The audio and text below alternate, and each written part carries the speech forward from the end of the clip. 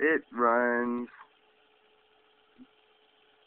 Of course, it's off a battery, but still need to get into the other two coils. This is just off of one.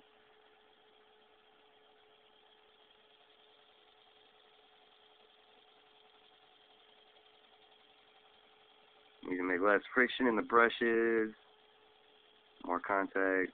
You can see that one right there. The brush right here.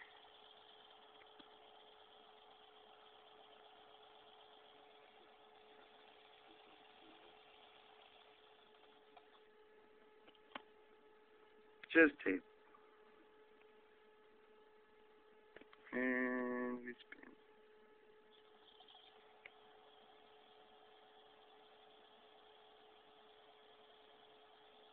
Fun stuff. Weird experiments as far as voltages coming out of the coils go. Not much, but if I look it up a certain way, I seem to get like 2 amps coming out of it for some reason. Very odd. We'll keep going.